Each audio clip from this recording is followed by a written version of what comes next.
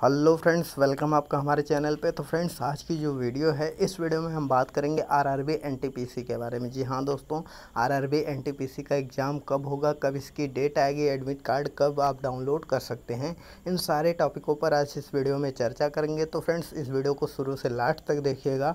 और फ्रेंड्स, अगर आप हमारे चैनल पर नए हैं और आपने अभी तक हमारे चैनल को सब्सक्राइब नहीं किया है तो आप हमारे चैनल को सब्सक्राइब कर लीजिए और साथ ही में बेलाइकन को क्लिक कर दीजिए, जिससे कि मैं कोई नई वीडियो अपलोड करूँ तो आप तक उसकी नोटिफिकेशन सबसे पहले पहुँच जाए।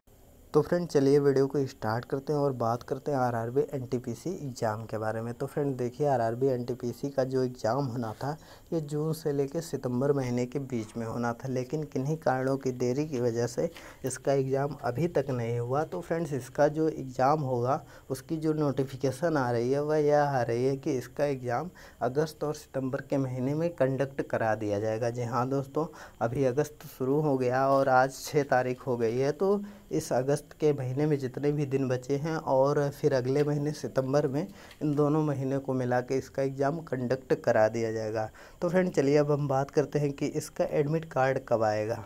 तो फ्रेंड देखिए इसके एडमिट कार्ड को लेकर जो नोटिफिकेशन आ रही है वह यह आ रही है कि इसका जो एडमिट कार्ड है, वह बहुत जल्द रिलीज़ कर दिया जाएगा और उसमें जो है आपको केवल यह पता चलेगा कि आपका सेंटर कहाँ पे लगा है, आपको किस शहर में जाना है एग्ज़ाम देने और किस डेट को है। जी हाँ दोस्तों, यही दो चीज़ पता चलेगी। और जब आपका एग्ज़ाम जिस भी डेट को होगा, उसके चार दिन पहले आपको वर्जिनल एडमिट कार्ड मिलेगा। वर्जिनल मतलब यह है कि आप उसको डाउनलोड कर पाएँगे, उसका प्रिंट आउट निकलवा के वही ले जाना होगा। आपको जो चार दिन पहले रिलीज़ होगा। तो फ़िलहाल फ्रेंड्स, अगर आरआरबी एनटीपीसी के बारे में कोई लेटेस्ट अपडेट आती है तो हम उस पर एक वीडियो बना के अपलोड कर देंगे। वीडियो को देखने के लिए फ्रेंड्स, अगर आपने अभी तक हमारे चैनल को सब्सक्राइब नहीं किया है तो चैनल को सब्सक्राइब कर लीजिए, जिससे कि मैं कोई नई वीडियो अपलोड करूँ तो आप तक उसकी नोटिफिकेशन सबसे पहले पहुँच जाए। तो फ्रेंड चलिए वीडियो को स्टॉप करते हैं।